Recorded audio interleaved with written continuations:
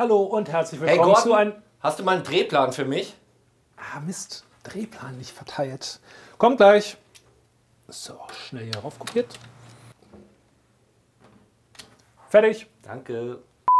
Also, herzlich willkommen zu unserem neuen. Das Hintergrundvideo für den Fernseher. Ach, das Video. Oh, vergessen. Bald keine USB-Sticks mehr. Kommt gleich.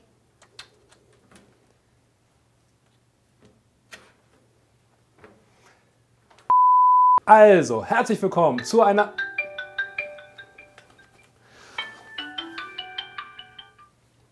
Ja, Skript.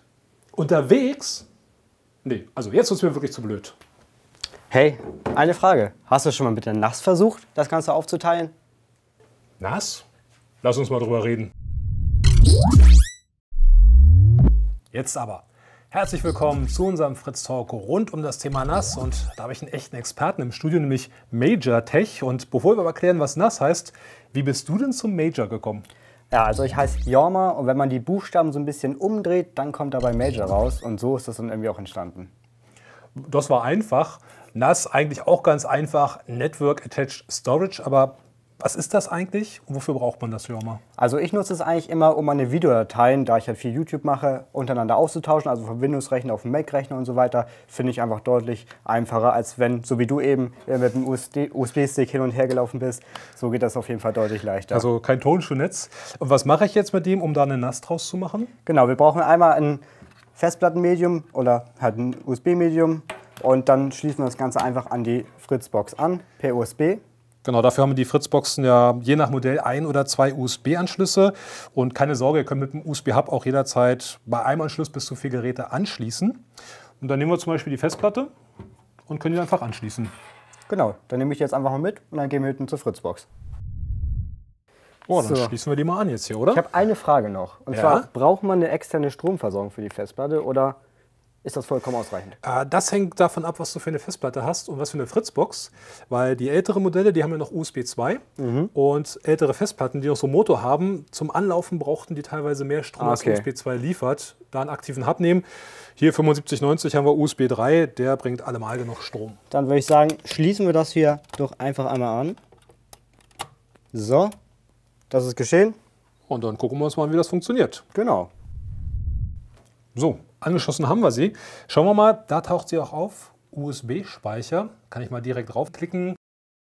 Und da sehen wir, externer Speicher ist angeschlossen. Hat alles USB funktioniert. 3-Platte läuft. Ich sehe gerade, hier steht noch USB 2.0 beim Anschluss. Genau, wir haben ja gerade darüber gesprochen, USB 2, da reicht ja mitunter auch der Strom nicht. Die 7590 hat ja USB 3, aber wenn ihr die volle Leistung nicht braucht, dann kann man hier diesen Green Mode aktivieren, Okay. dass auch ein bisschen weniger Strom verbraucht wird. Ja. Wir machen jetzt hier natürlich mal volle Power, denn bei einer Natürlich. Festplatte, da macht das schon Sinn. Bietet sich das an. Jetzt ist sie voll einsatzbereit. Aber wie kann ich jetzt darauf zugreifen? Wie funktioniert das jetzt? Äh, Ich mache das ganz gerne direkt über die Fritzbox-Oberfläche. Da finden wir hier oben Fritz NAS. Einfach raufgeklickt.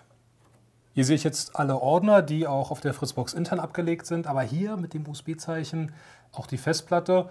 Und hier kann ich jetzt eigentlich alles machen. Ich kann durch die Ordner navigieren, man kann sortieren, man kann suchen, also zum Beispiel nach Filmen gucken, nach Bildern oder eben nach einer bestimmten Datei und auch Dateien umbenennen, kopieren, alles machen. Machst du es in deinem Netzwerk dann auch mit der Fritz-NAS-Oberfläche? Ich mache es bei mir direkt im Explorer, so kann ich dann einfacher nochmal aufs Dateisystem zugreifen.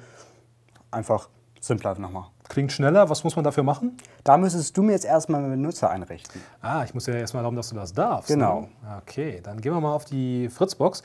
Erstmal generell diesen Zugriff äh, zulassen.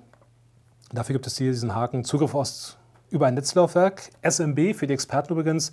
Wir unterstützen derzeit SMB 1, SMB 3. Aktuelle Version wird natürlich bei Update auch kommen.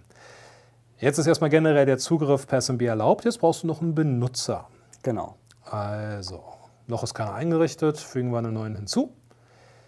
Und zwar nehmen wir den Jorma und Kennwort nehmen wir mal Major. Und sicher soll es sein 671. Sicherheit ist immer wichtig. Oh, Mittel aber reicht. So, Zugang zum NAS muss natürlich erlaubt werden, dass du dann auch auf den Netzwerkspeicher zugreifen darfst. Das wäre ganz gut. Ja. Wir können dich jetzt einrichten, welche Verzeichnisse lesen oder schreiben. Ich vertraue dir blind, du darfst auf alles Oh, zugreifen. super. und übernehme das Ganze. Wow, und jetzt? Jetzt, du dran. jetzt geht es hier weiter. Ich bin jetzt hier schon im Explorer und drücke jetzt hier oben einfach mal rein. Backslash, Backslash, Fritz.box. Ich habe jetzt hier die Anmeldemaske. Da melde ich mich jetzt hier einfach mal mit Benutzerdaten an. Die, die ich gerade in der Fritzbox eingerichtet habe. Genau.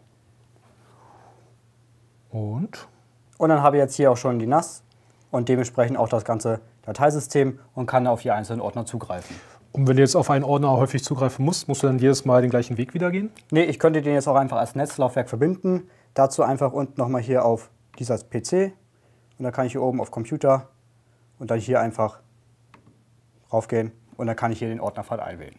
Jetzt kannst du ja in deinem Netz auf die Dateien zugreifen mit allen Rechnern. Musst du denn deine Videos auch manchmal extern irgendwie? Ja, das kommt stellen? auf jeden Fall hin und wieder vor, aber da gibt es auch die Möglichkeit, dass ich dann die entsprechende Datei auch freigeben kann, also mit einem speziellen Link.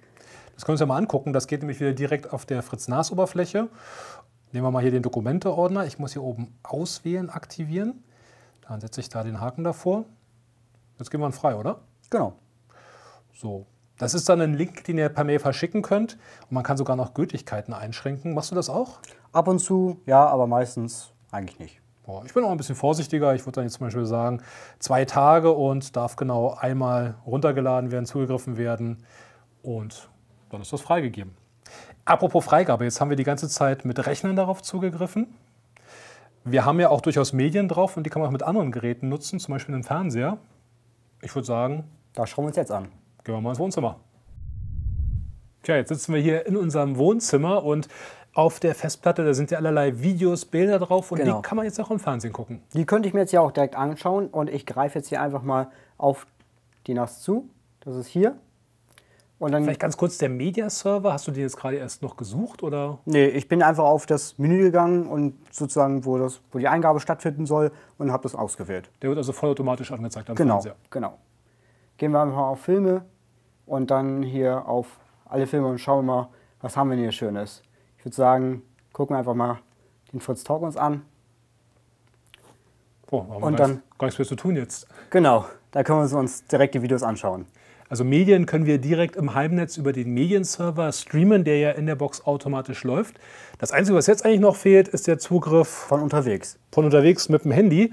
Und auch das geht mit unserer MyFritz-App. Das zeige ich euch auch mal. So, ich starte jetzt hier mal die MyFritz-App. Nutzt du die eigentlich auch? Ehrlich gesagt jetzt noch nicht so oft, aber die ist ja, glaube ich, ganz praktisch, oder? Die ist ganz praktisch und vom Ratzfatz eingerichtet, weil momentan ist noch gar nichts eingerichtet. Deswegen fragt sie mich jetzt auch direkt nach dem Kennwort zu dieser Box. Das muss ich dann genau einmal eingeben und ich hoffe, dass ich mich jetzt hier nicht vertippe. Und jetzt wird die Verbindung hergestellt. Jetzt kommt noch eine Frage, ob ich das von unterwegs nutzen möchte. Klar, würde ich natürlich, weil ich Möchten will ja auch von unterwegs drauf zugreifen. Und das war es auch schon.